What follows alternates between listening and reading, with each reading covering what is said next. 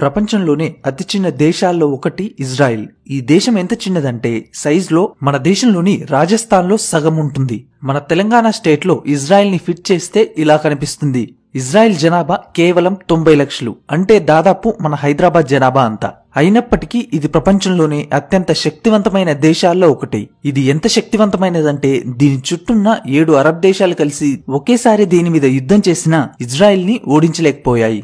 టెక్నాలజీలో వీరికి పోటీ లేదు. వ్యవసాయంలో కూడా వీళ్ళని మించిన వాళ్ళు లేరు.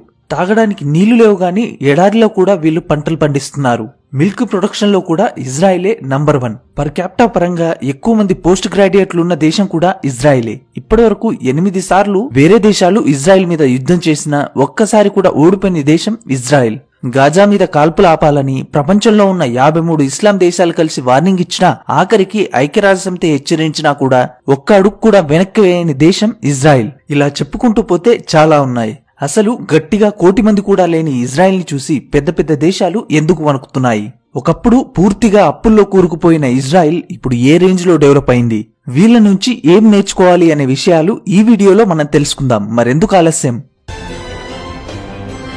ఇజ్రాయెల్. Innovation Nation.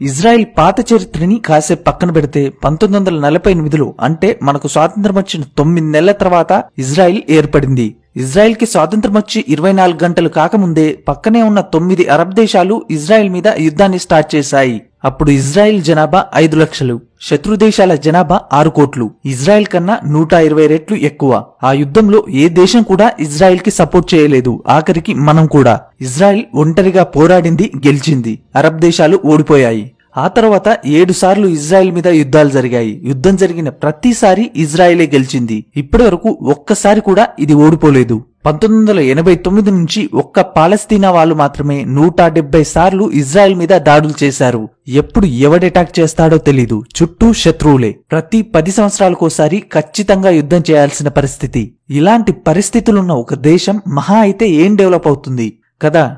ఈ వీడియోని పూర్తిగా చూడండి. ఇజ్రాయెల్ అంటే ఏంటో ఇజ్రాయెల్ ఏ రేంజ్లో డెవలప్ అయిందో మీకే తెలుస్తుంది. Science and education. ఎడ్యుకేషన్ గురించి మాట్లాడే ముందు ఒక్క ఇజ్రాయెల్లో తొంభై తొమ్మిది శాతం అందరూ చదువుకున్న వాళ్ళే వీళ్ళ చదువులు మనలాగా బట్టి చదువులు కాదు.